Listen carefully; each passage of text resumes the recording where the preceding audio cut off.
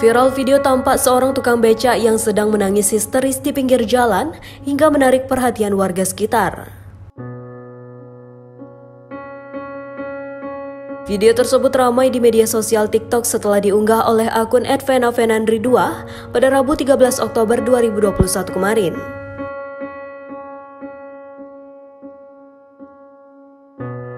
Di dalam video menunjukkan pria yang berprofesi sebagai tukang becak menangis histeris hingga berbaring di pinggir jalan.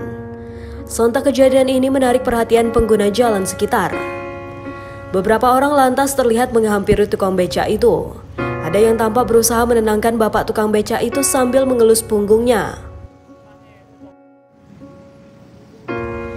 Belakangan diketahui pria tersebut menangis lantaran kehilangan uang 500 ribu rupiah. Uang tersebut adalah tabungan dari usahanya setiap hari menarik becak. Dalam video tampak tukang becak itu sedang menepi di pinggir jalan beserta becaknya. Tukang becak tersebut menggunakan celana pendek hitam dan kaos abu-abu.